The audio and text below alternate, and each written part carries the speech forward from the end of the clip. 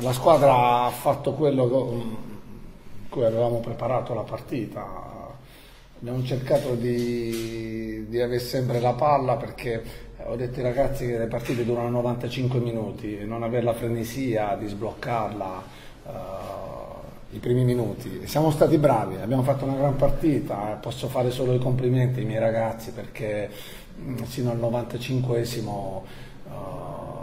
abbiamo giocato la partita, non ci siamo fatti giocare dalla partita perché è un gioco di parole, però rende l'idea che la squadra ha tenuto il campo bene per 95 minuti. E se devo dire se c'era una squadra non perché alleno il Piceno che meritava di passare, era il Piceno per il calcio e quello là, almeno dal mio punto di vista, è... però mh, complimenti al Monopoli che va avanti e quindi noi siamo arrivati a fare uh, questi playoff l'obiettivo era la salvezza, però abbiamo dimostrato di saperci stare nei playoff. C'è stato un minuto, un minuto e mezzo, subito dopo aver fatto gol, ci sono un po' di situazioni che non è facile nemmeno per la terna, no? su qualche fuorigioco, quant'altro, uh, ma ci sta, no? vanno aiutati, la terna va aiutata. Se devo proprio recriminare, al di là di quello che poi abbiamo subito gol subito, è il primo tempo su, di solito non lo faccio mai per finire il campionato, sul rigore su Gerardi eh, vedendo anche le immagini, qualche partita l'ho fatta e so che quei rigori si danno, però poi il verdetto del campo dice 1-1 e come ho detto prima faccio i complimenti a Monopoli, però un, un plauso grande a, ai ragazzi del Picerno che hanno veramente oggi dimostrato di, di essere dei dei giocatori importanti. Ma la creatura nostra, la creatura del direttore greco, perché non voglio di nuovo ridire, fare la squadra in 15 giorni non è stato facile, quindi creare un gruppo,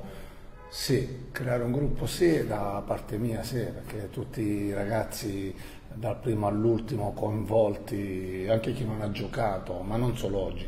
sempre, e quindi questa è una cosa bella eh, quel senso di appartenenza che noi eh,